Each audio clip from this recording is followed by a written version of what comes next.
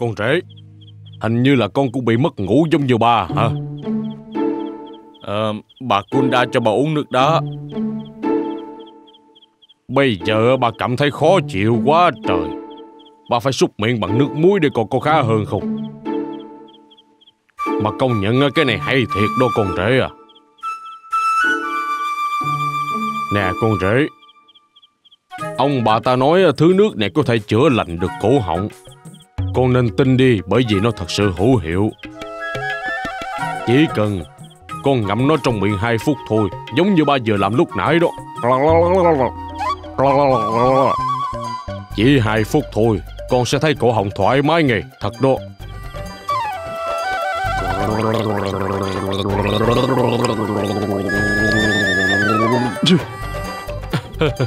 à.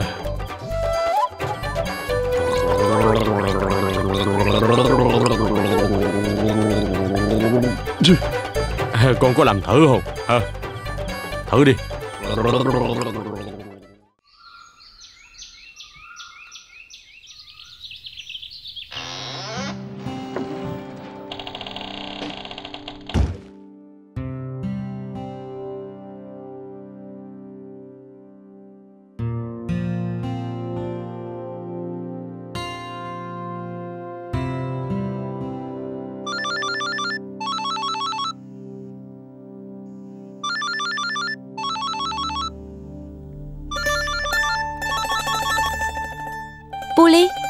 Cậu khỏe không vậy?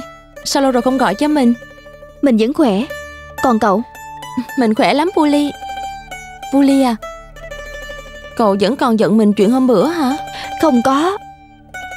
Cậu biết mình mà. Có bao giờ mình giận hờn cậu quá một ngày đâu. Mình không phải là người nhỏ mọn như vậy đâu, Anandi. Mình giận cậu chuyện khác kìa. Chuyện gì? Mình đâu có làm gì để cậu giận đâu. Ai nói với cậu là mình không gọi điện cho cậu chứ? Mình gọi cho cậu mà cậu có chịu bắt máy đâu. Không phải đâu. Tại dạo này nhiều biết, việc xảy biết, ra. biết, Mình biết, mình biết rồi. Dạo này cậu có rất nhiều trách nhiệm mà đúng chứ? Mình gọi cho cậu Là mình muốn nói cho cậu biết một chuyện. Cháu của cậu nó không chịu nằm yên nữa. Nó phá lắm. Cứ đạp bụng của mình hoài à Anandi Anandi mình có cảm giác rất khó tả. Trong người mình có thêm một sinh mạng. Mình Mình có thể cảm nhận được từng hành động rất nhỏ của đứa bé này. Mình đang hạnh phúc lắm, Anandi. Mình Mình cứ như đang sống ở trên mây vậy. Anandi, Hôm nay nó còn đạp vào bụng của mình nữa đó, Anandi. Mình Mình không biết diễn tả sao cho cậu hiểu nữa. Mình Mình rất là hạnh phúc đó. Cậu có hiểu được không hả Anandi Puli Mình không hiểu được cảm giác đó Nhưng có thể thấy cậu hạnh phúc như vậy. Mình cũng hạnh phúc lắm đó Puli à. Ờ Mình vui lắm Anandi Mọi người trong gia đình chồng mình ai cũng hạnh phúc hết. Mọi người đều mong chờ đến ngày con của mình ra đời. Cứ gặp mặt là họ lại nói chuyện về con của mình không à Vậy hả? Vậy còn chồng cậu nói những gì vậy? Anh ấy hả? Anh ấy rất hạnh phúc. Hạnh phúc lắm đó Anandi Ảnh. Ảnh cũng giống như mình vậy. Ảnh còn nói với mình là Kêu mình chỉ cho ảnh đang nhớ. Ảnh muốn là người đàn ông đầu tiên Trong gia đình đang nhớ cho con mình Puli. Nè Mẹ pha sữa hạnh nhân cho con uống đó Con phải uống hết cho mẹ. Con mau uống nhanh đi Nếu như để sữa nguội. Uống không còn tốt đâu con gái à. Trưa nay mẹ có làm Ram Havan cho con con thích không? Dạ thích.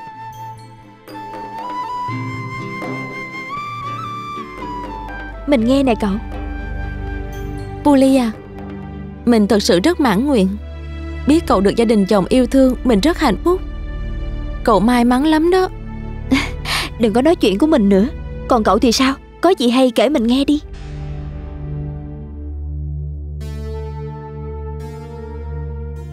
Mọi chuyện đều tốt đẹp hết. Giờ ở làng mình có rất nhiều người theo học rồi Puli Còn một tin bảo đảm là cậu sẽ sốc. Bà của mình cũng đã bắt đầu tham gia vào trong lớp học của mình rồi đó. Vậy hả? Bà tham gia hả? Ờ. Giờ lớp của mình đông vui lắm Puli à. Cũng nhờ gia đình chồng ủng hộ Mà mình mới có được ngày hôm nay đó. Nếu không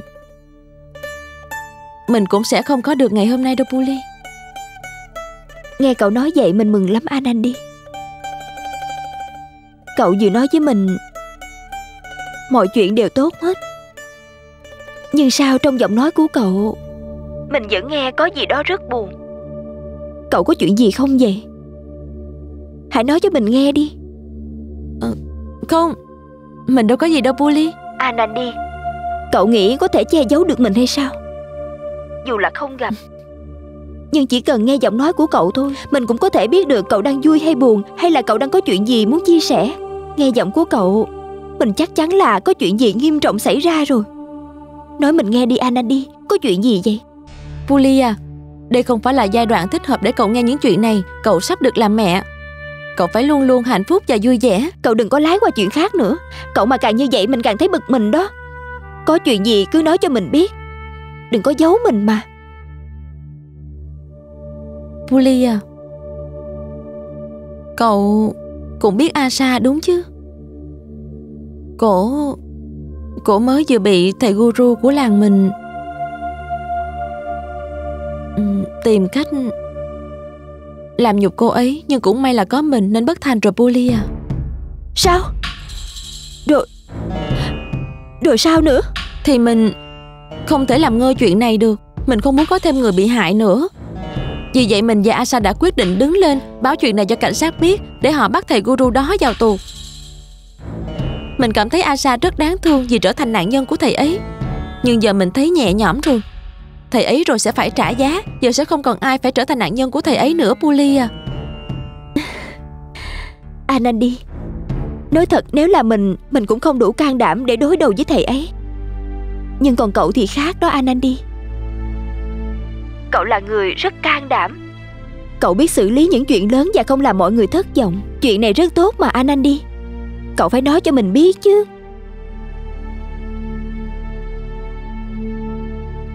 Anandi.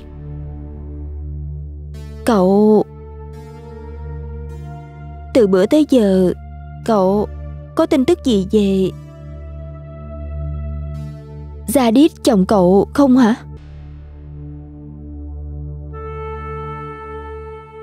Không có. Cậu biết không, Bully? Thật tốt vì cậu đã hỏi về anh ấy. Mình sợ Bully à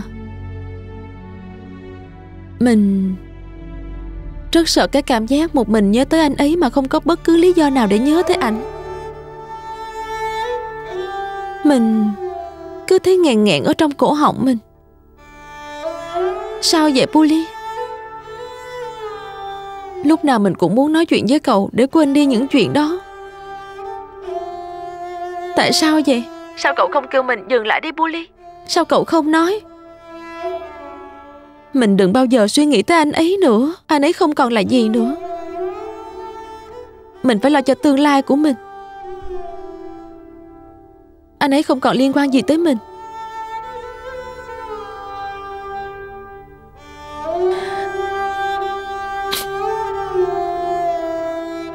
Julia Mình Đã cố gắng quên anh ấy rồi mình không muốn nhìn thấy anh ấy thêm một lần nào nữa hết. Nhưng mình làm không được. Sao đích anh ấy lúc nào cũng hiện ra trước mắt mình. Mỗi bức tường trong căn nhà này, mỗi cánh cửa mà mình từng đi qua, tất cả mọi nơi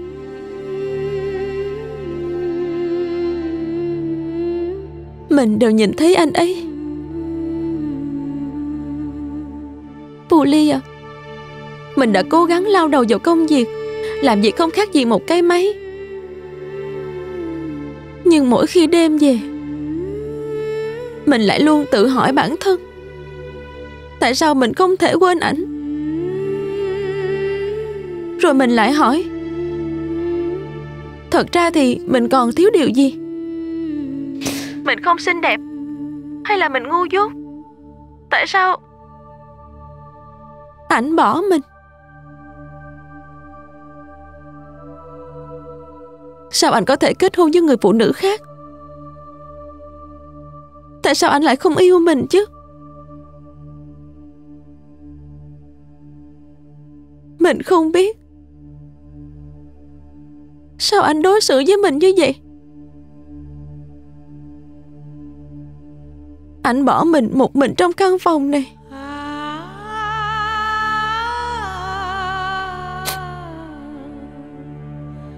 Mình cảm thấy lạnh lắm Polly à Lúc nào mình cũng sống trong cô đơn, Thấy trống trải.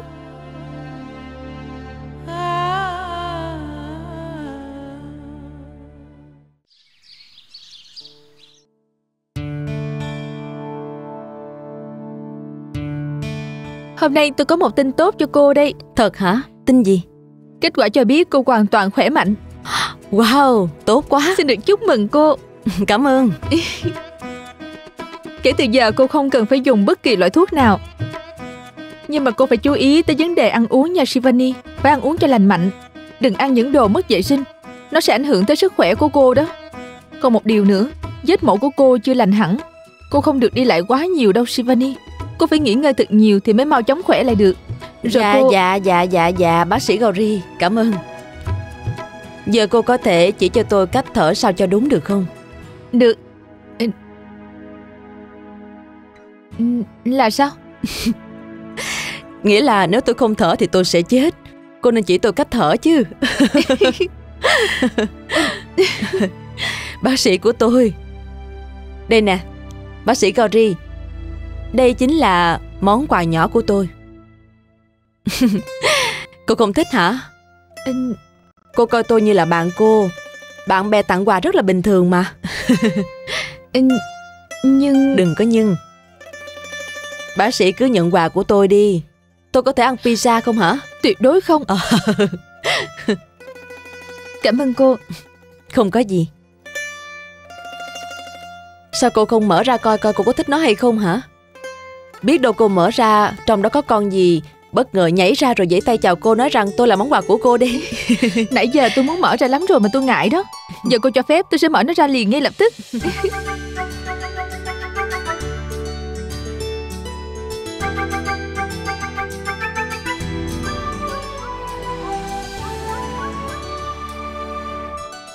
Wow, cái này đẹp thiệt đó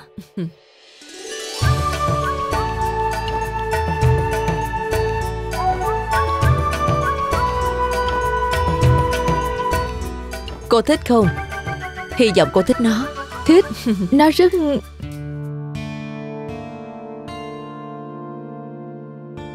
Hả? Nó sao? Ờ Tôi đổi cái khác cho cô nha. À không phải. Thì ra cá nhân tôi rất thích mặc cái này. Nhưng Tôi không biết chồng của mình thấy tôi mặc cái này anh ấy sẽ phản ứng ra sao nữa. Phải Cô hiểu anh ấy rõ hơn tôi là cái chắc Nhưng tôi tin nếu như cô chịu mặc cái này Anh ấy Chắc chắn sẽ không tiếc lời mà khen cô xinh đẹp như một nữ thần. Tin tôi đi cô rất xinh đẹp. Xinh đẹp và gợi cảm nữa. Đúng rồi, tôi quên nói cho cô biết chuyện này. Chuyện Trời Cát gọi điện thoại kêu ba mẹ tôi lên chơi. Vậy hả? Phải. Mấy ngày trước ba tôi bị bệnh loét dạ dày. Tôi rất lo cho sức khỏe của ba mình đó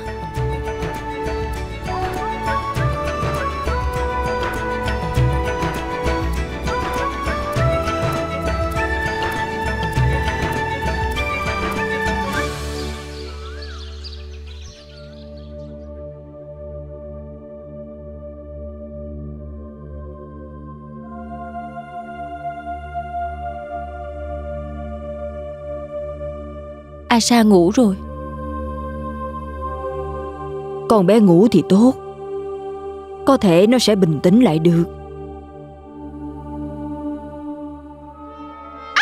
À, Asa Asa. Asa.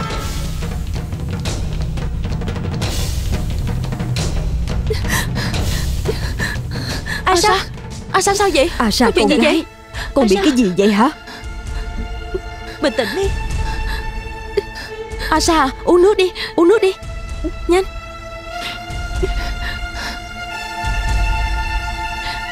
Asa Cô không cần sợ gì hết Asa Nhìn nè, Có mọi người ở đây rồi. Không cần phải sợ. Ở đây không có ai làm hại cô được đâu. Được rồi, Nằm xuống đi. Nhanh.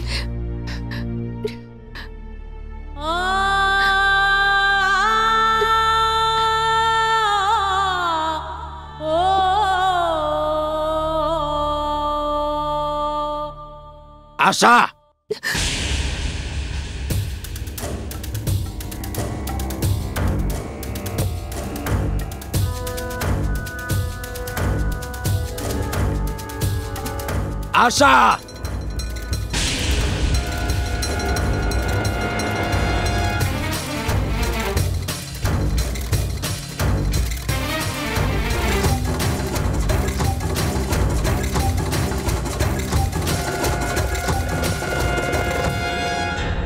Asa Asa đâu rồi? Con bé đang trong phòng của Suna. Ờ ông sao vậy?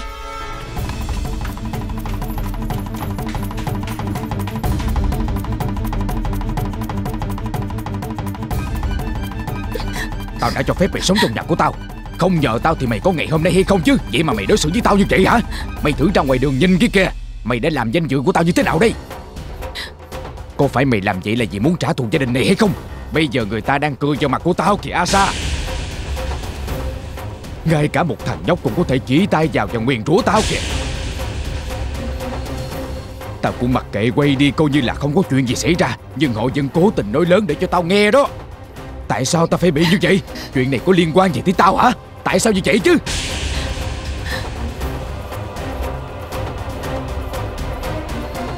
Bác đã nói rồi, đừng có làm lớn chuyện này lên. Tại sao con không nghe lời của bác vậy hả? Để rồi bây giờ người ta cười vào mặt bác, Ai chịu trách nhiệm đây?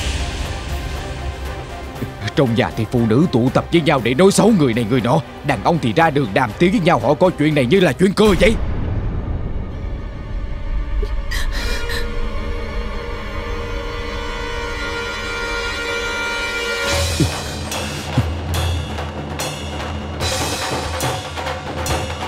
Anh nên đi. Bác ơi. À đi đi. À, Đi đi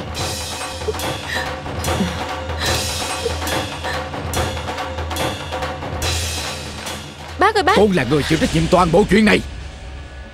Lúc trước con đừng nhúng mũi vào chuyện này Thì đâu có như ngày hôm nay chứ. Con đã thấy chưa? Bây giờ con bé Asa nó đang biến cái gia đình này thành trò cười cho cái làng này rồi kia kìa con à. Vậy thì tự hỏi sau này làm sao bác có thể ngẩng đầu lên để nhìn mặt mọi người đây hả con? Mọi người đang chờ ở ngoài kia, chỉ cần bác thò cái đầu của bác ra ngoài là họ phun nước bọt vào mặt bác liền con ở bên nhà của con con bày ra đủ thứ chuyện cho gia đình, chồng con vẫn chưa đủ, sao hả anh anh đi? Sao con còn quay lại hại gia đình của bác như vậy chứ? Tại sao con lại làm như vậy? Ít nhất con cũng phải nhớ rằng chị chồng của con vẫn đang sống ở trong nhà bác mà. Đây không phải là gia đình của con đâu mà con lo. Bác không cho phép con được đùa giỡn với danh dự của gia đình bác như vậy.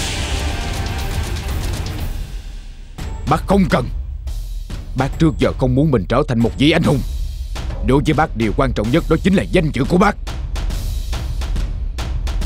Từ lúc cha sanh mẹ đẻ tới giờ, bác chưa bao giờ để mình mất mặt, Nhưng bây giờ nhờ con bác mới được nếm trải những điều này.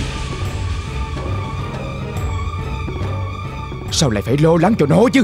Để rồi bây giờ bao nhiêu người phải chịu khổ? Nếu như nó thật sự may mắn Thì nó đã không phải trở thành quá phụ Và không sống một cuộc đời bế tắc như ngày hôm nay Rồi. Anh anh đi à con hiểu chùm đi. Giờ gì con mà chẳng những nó mà mọi người đang phải rối lên đây nè. Con bé nó đã chấp nhận một cuộc đời quá phụ rồi Thì thôi, đừng đụng tới nó nữa. Sao con cứ thích lo chuyện bao đồng không vậy hả con? Bộ con muốn nó đi đường xa thì con mới chịu sao? Con đường sai sao? Con đường này sai ở chỗ nào vậy hả bác? À, Asa đã làm gì sai vậy hả bác? Chỉ cần mọi người nói cô ấy làm sai, Thì có nghĩa là cô đã làm sai hay sao chứ? Sao lại bất công như vậy? Chính thầy Guru mới là nguyên nhân chính dẫn tới sự việc như ngày hôm nay mà. Ông ấy muốn làm nhục Asa Vậy mà bác kêu Asa phải im lặng hay sao chứ? Bây giờ Asa chỉ muốn đòi lại chút công bằng. Như vậy là xúc phạm danh dự của bác. Ở đâu chứ? Bác chỉ con biết lỗi của Asa nằm ở chỗ nào đi bác. Không phải Asa Mà chính là người đàn ông kia có lỗi. Ông ta chỉ đang cố gắng làm cho Asa đầu hàng ông ta thôi quá. bác. Nếu còn nói hay như vậy á, thì đến từng nhà trong ngôi làng này nói cho họ nghe đi. Chỉ trong một ngày trời cả cái làng này ai ai cũng biết hết rồi đó. Này mai chuyện này sẽ bị lên báo và cả cái đất nước này ai cũng biết hết. Đi nói với họ là Asa vô tội đi Để coi họ có tin hay không. Tại sao con không thử đi làm đi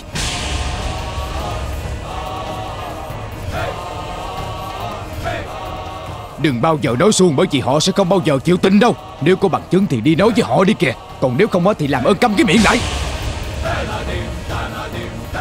Thầy ấy không phải là người bình thường đâu con à. Lời nói của con không là gì hết. Thầy ấy chỉ cần một tiếng thôi là có biết bao nhiêu người bảo vệ cho thầy ấy rồi con biết Bác không? không hiểu bác.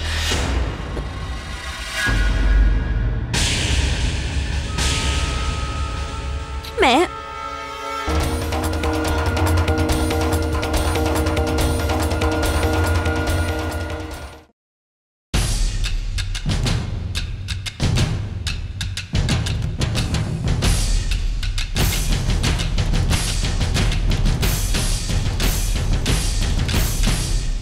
Con về rồi hả? Con mau mang cặp lên trên phòng đi, Rồi thay quần áo đi con.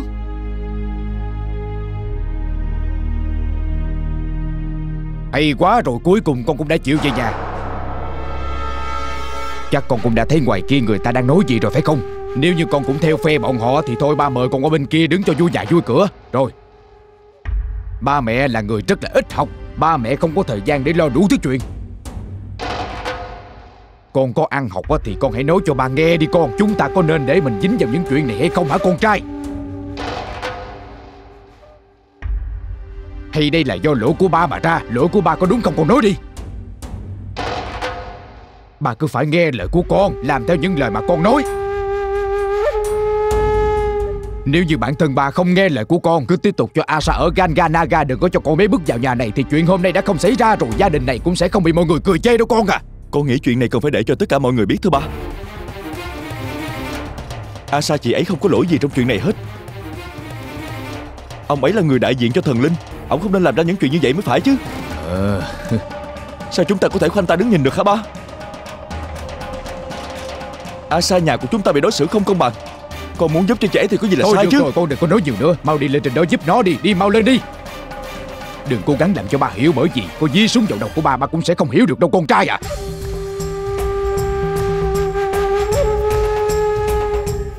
Nếu trước đây chúng ta tống cổ con bé đó đi Thì ngày hôm nay hai cha con của mình đã không cãi nhau như vậy rồi con hiểu không? Con không thấy mở sao Siam? Ê, Tôi cầu xin cô giáo. Tôi đang chấp tay cầu xin cô giáo này cô giáo à. Tôi chỉ có một yêu cầu nhỏ thôi. Cô cứ giữ lấy kiến thức, giữ lấy lối sống, giữ lấy niềm tin của cô đi. Chúng tôi không cần những điều đó đâu cô. Làm ơn tha cho chúng tôi đi mà. Tôi còn sống vài năm nữa thôi là về với thần linh rồi. Làm ơn cho tôi sống bình yên đi mà, cô giáo. Tôi cầu xin cô đó.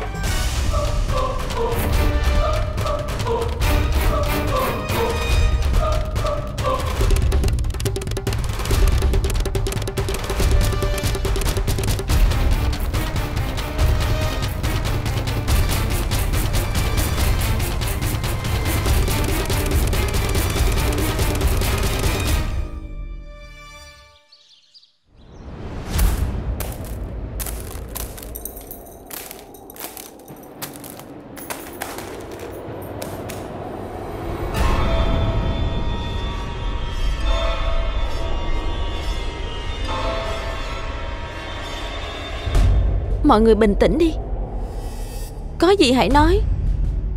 Đừng làm như vậy mà. Anandi Hôm nay mọi người tới đây để nói cho con một điều. Những gì con làm với thầy Guru, Thần linh của chúng ta, mọi người không chấp nhận. Những việc làm của con Làm cho mọi người cảm thấy tổn thương rất nhiều.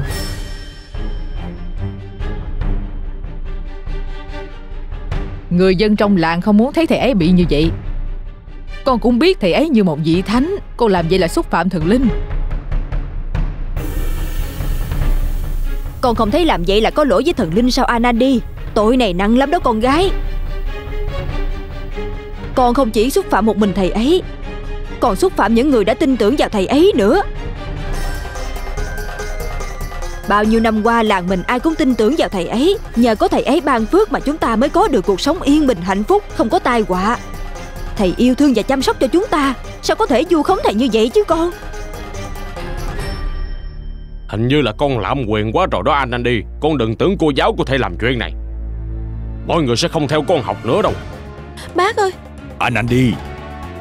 Từ khi cháu bắt đầu dạy học cho mọi người Cháu có nói là nếu như mà học xong rồi chúng ta có thể thay đổi cuộc sống của mình. Bây giờ mọi người có thể nhìn thấy tương lai của mình rồi đó cháu gái à. Ông không muốn đến từng tuổi này rồi Mà còn bị thần linh quở rách đâu anh anh đi. Trước khi đổ lỗi cho con Trước khi dứt hết những thứ này xuống dưới đất như vậy, Tại sao mọi người không ai hỏi con gì hết vậy? Anandi nè, Tại sao con lại làm như vậy? Nếu mọi người hỏi con Con sẽ nói cho mọi người nghe. Những gì con đang làm Là vì muốn bảo vệ cho những người phụ nữ Ở trong làng của chúng ta mà thôi. Mang danh thần linh. Nhưng thật ra lại làm những chuyện Mà ngay cả thần linh và con người cũng không cho phép. Chuyện đó đâu có gì đáng quan nghênh, đúng không mọi người? À, Anani Con đừng nói vậy, thần linh đang chứng kiến toàn bộ chuyện này đó con. Mọi người ở đây, Năm nào cũng đi thăm và cầu nguyện Ở chỗ thầy Guru mà con gái. Không lẽ mọi người bị mù hết hay sao? Thầy ấy là người xấu xa sao? Không thể nào. Nếu thầy ấy có làm gì sai trái Thì không lẽ mọi người không nhìn thấy? Thầy ấy không chỉ nói chuyện đàng hoàng mà ngay trong hành động cũng vậy Thầy ấy rất giữ chừng mực với phụ nữ mà. Điều này ai cũng có thể làm chứng Không tin thì hỏi mọi người đi. Dạ không. Con không hề biết trước đây thầy ấy đàng hoàng như thế nào. Nhưng những chuyện xảy ra với Asa là sự thật. Chính mắt con đã chứng kiến kia mà. Làm sao mà con có thể im lặng được kia chứ Mọi người đang bị thầy ấy lừa thôi, Chứ thực ra bản tính của thầy ấy vốn dĩ không phải là như vậy. Con dám đảm bảo. Những chuyện thầy ấy làm với Asa, Tất cả đều là sự thật.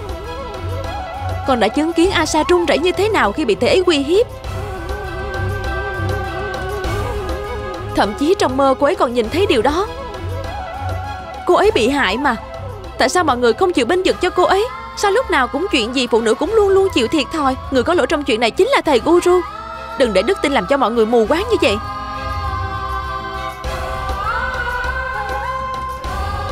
Hơn nữa, Nếu thầy ấy đúng là một vị thánh, Thì việc làm đó càng không thể nào chấp nhận được. Một con quỷ đội lốt thánh nhân, Điều đó không phải là rất đáng sợ hay sao? Sau này còn những người con gái khác, Ai sẽ là người bảo vệ cho họ đây? Nếu không làm cho ra chuyện này, Thì sau này không ai dám đứng lên chống lại thầy ấy.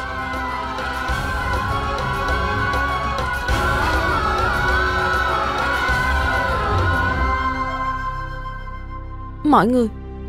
Con chấp tay cầu xin tất cả mọi người ở đây, Asa cũng là một thành viên trong làng của chúng ta. Cho dù có muốn hay là không, Thì chúng ta cũng không thể nào để Một thành viên trong làng của chúng ta chịu quan ức như vậy được. Công lý ở chỗ nào? Nếu như chúng ta biết mà không thể cứu một cô gái chân yếu tay mềm. Đừng nên chủ quan như vậy. Biết đâu ngày mai con gái, cháu gái của mọi người bị như vậy thì sao? Đây là lúc chúng ta phải đoàn kết với nhau Chống lại một người lòng lan giả sói như thầy ấy. Đừng để một người như ông ta biến làng của mình trở thành một nơi không ra gì. Anandi Mọi người ở đây ai cũng biết hết. Con nói chuyện rất cuốn hút, rất bài bản. Nhưng mà Không phải chỉ vì như vậy Mà làng mình phải nghe theo lời con nói Rồi đi ngược lại với thần linh đâu. Dù cho con nói gì, Thì cũng sẽ chỉ như vậy. Suy nghĩ mọi người và con khác nhau quá. Con là một giáo viên Con suy nghĩ cũng rất khác. Còn mọi người ở đây chỉ toàn là nông dân mà thôi. Cố gắng hòa nhập cũng không thể nào được. Cho nên cô và mọi người đã quyết định rồi. Kể từ bây giờ, Sẽ không tới lớp của con để học nữa đâu.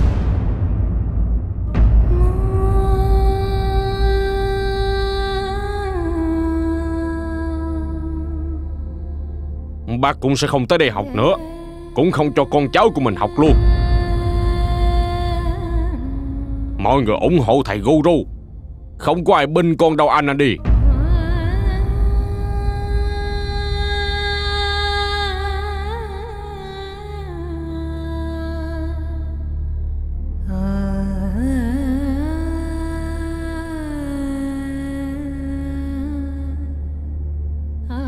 Mọi người không tới.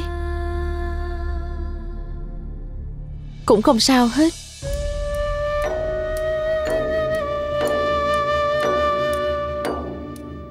Con cũng không có quyền hạn gì ép mọi người tới đây để học với con.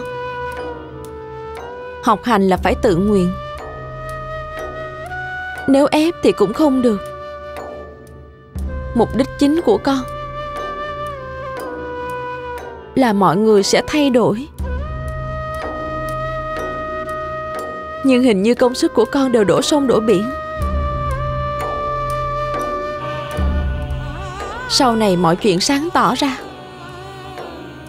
Mọi người có muốn tới đây học, Thì chắc là lúc đó con cũng không đảm nhận nữa đâu.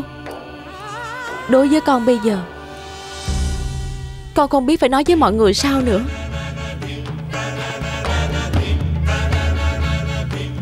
Con cũng không có quyền hạn gì để có thể tiếp tục giảng dạy cho mọi người. Nếu ai đó chịu học, Dù chỉ dạy một, nhưng người đó sẽ hiểu mười. Nhưng một khi đã không chịu hiểu rồi thì nói thế nào cũng không hiểu được.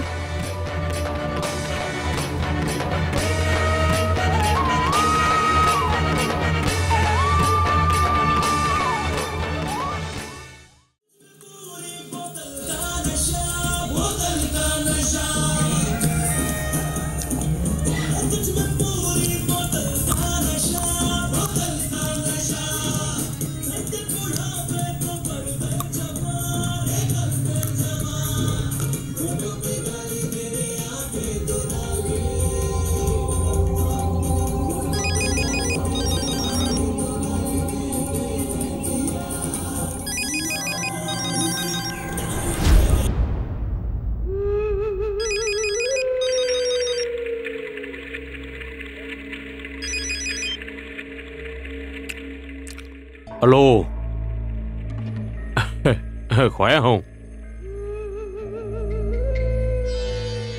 Hỏi gì nữa? Tôi đang ở trong tù đây nè. À Mau lại mở cửa cho tôi đi chứ. Ở trong này riết tôi sẽ mập lên đó. Hả? Nói gì không nghe? Hả? Thiệt hả? Trời ơi, chúc mừng nghe, Chúc mừng. Chuyện vui thiệt đó. Thần linh ban phước nha. Trời ơi, được rồi được rồi, tôi cúp máy đi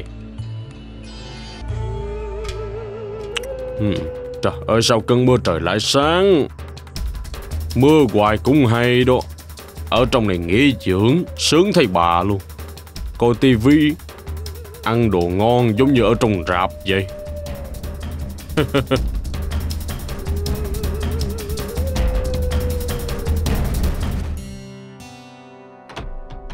Gloria à em với anh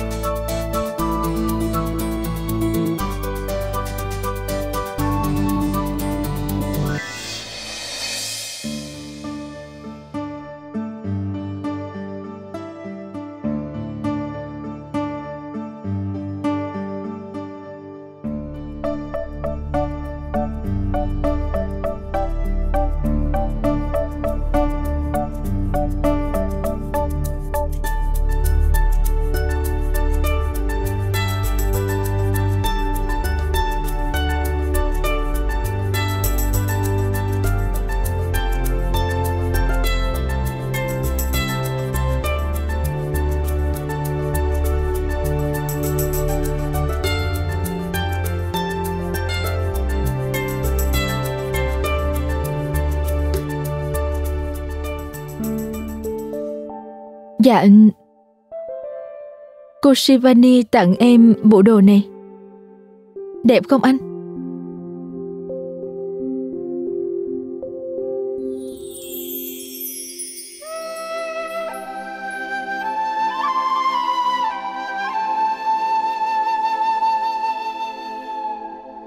Nhìn rất là đẹp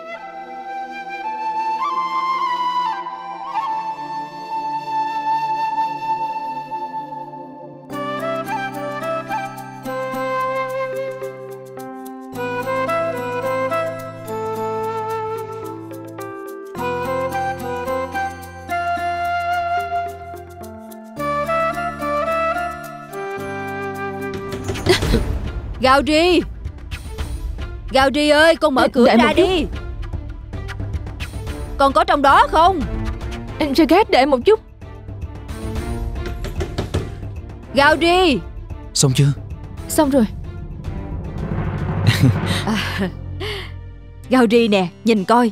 Hôm nay mẹ với dì Kunda ra đường Rồi đi tới chỗ à, chỗ gì ta? Siêu thị, siêu À, thị. à, siêu thị. Mẹ sốc con ơi cái nhà gì bự thấy sợ Bằng nguyên cả làng của mình. Trong đó có quá trời người luôn Nhìn thôi cũng thấy chóng mặt rồi con gái. À, Còn cái cầu thang nữa. Không cần chúng ta bước lên luôn Đứng một cái là tự động nó lên à. Mới đầu mẹ thấy rất sợ Đứng cứ như cây cột vậy Quê quá trời quá đất.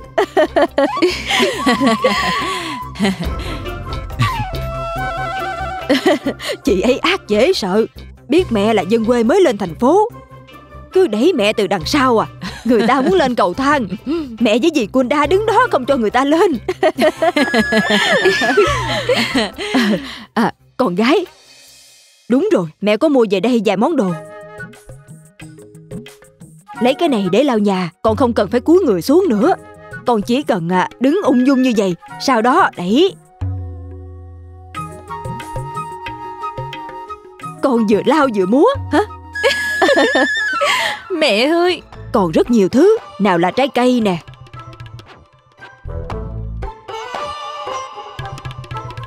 À đúng rồi con gái. Con thấy gì chưa? Rau người ta làm sẵn luôn nè. Chỉ cần á trụng qua nước sôi là mình có thể ăn được rồi. Ờ Cao Tri à Tự nhiên giờ anh cảm thấy đói bụng quá. Em mau ờ, làm cái gì cho anh ăn đi. Con nghỉ ngơi đi. Để đó mẹ làm cho. Mẹ sẽ làm à, bokoda cho cả nhà ăn. Vậy nha Mùa này mà ăn cái đó là quá tuyệt vời luôn. Dạ mẹ nói phải đó mẹ. Cũng lâu lắm rồi con không ăn được món đó đó mẹ ơi. Vậy thì mẹ sẽ làm món đó nha Gauri. Tôi sẽ chỉ cho chị tất cả những gia vị cần thiết. Đi với tôi đi. Đi. Có gì tôi nhờ chị nêm nếm luôn. Ờ,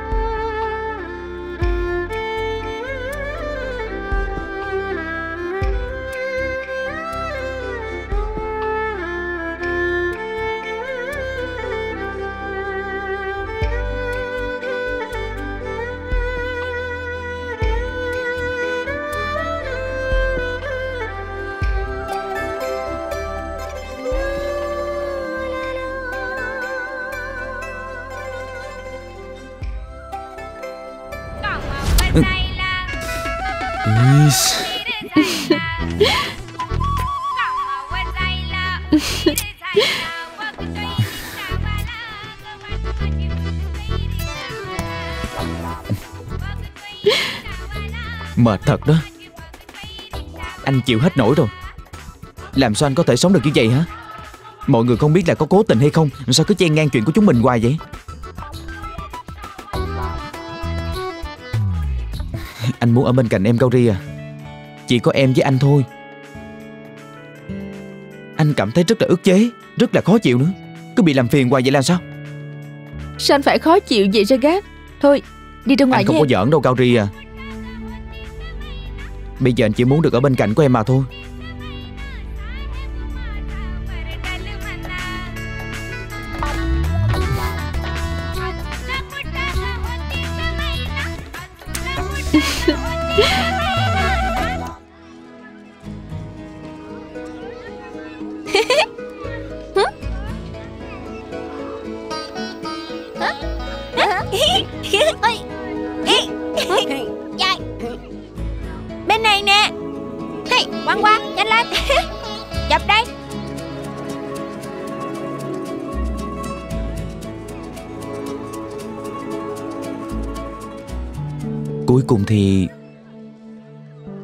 Có hai chúng ta.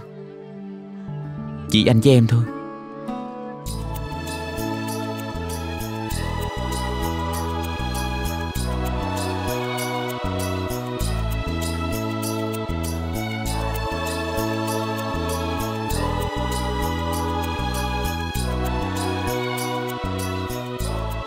Chana đây, Chana đây, Chana đây.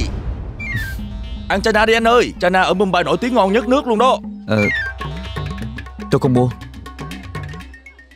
Mua cho bạn gái ăn đi mà anh Tôi đã nói không mua rồi đi chỗ khác giùm đi Không mua thì thôi chứ Chana đây, Chana đây Chana ngon lắm đó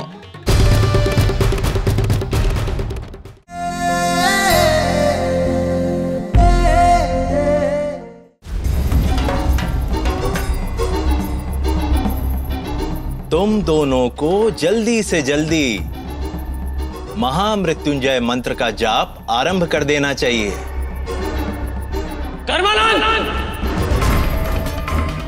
तेरी हिम्मत इसे समझाइए। अरे बेटा समझ चलो थाने। आपको जो बात करनी पुलिस स्टेशन में आके कीजिए। अरे इंस्पेक्टर साहब बात तो सुनो हमारी